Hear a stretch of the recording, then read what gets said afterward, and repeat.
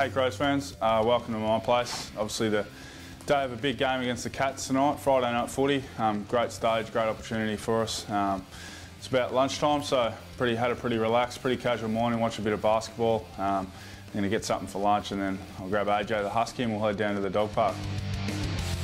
Half past 12, about lunchtime. Um, I don't have any strict timing with when I eat, but it's important to get plenty of fuel in before the game.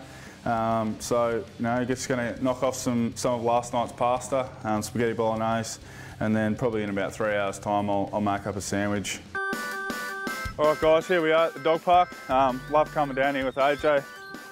Uh, it's good for me to just get out and get some fresh air, especially on a nice day like this. Stretch the legs. Um, obviously gives him a bit of a run and um, somewhere I can just relax and and uh, not think about the game too much, just relax, fill in a bit of time. And so I've had AJ for about two years. Um, He's just over two-year-old.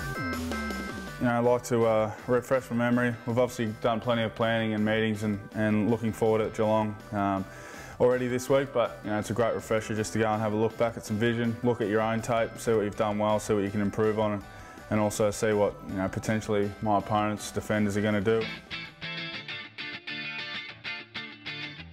Three hours, or just under now. Um, until the game kicks off. So I'd like to get there about two hours before the game. It's it's pretty flexible. Some guys, um, you know, I know Lynchy and Rick Henderson, they're pretty relaxed. They like to get to the ground as late as possible. We don't get a whole a whole heap of opportunities to showcase you know, our games in front of everyone, and that's that's the great thing about Friday nights is pretty much the AFL world and all its fans are watching. Everyone's tuned in at home. You know, even you know local footballers are all sitting back. Um, getting ready for their own, own footy matches tomorrow. So it's great that, uh, you know, from my point of view, a lot of my family and friends back home, you know, they'll all get to watch watch the game. I finally made it. Um, took a while, but we finally got to the ground. Um, so let's get stuck into it. Hopefully we can get the four points.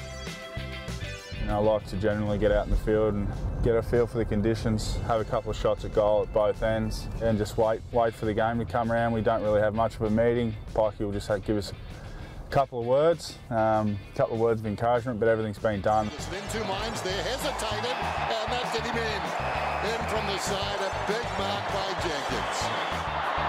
Jenkins, well, he had the handball on, but he didn't need it. He kicked his second goal for the quarter. it was a big night, wasn't it, for that man there. A huge build-up in this city. And look at that scoreboard. It does tell a tale. All right, guys. Uh, done uh, ice baths recovery. Not the result we wanted tonight. We were obviously hoping for a, for a win. Um, fantastic crowd. You know, I think it was a record 53,000 or so. Um, but you know, bitterly disappointed that we couldn't get the victory.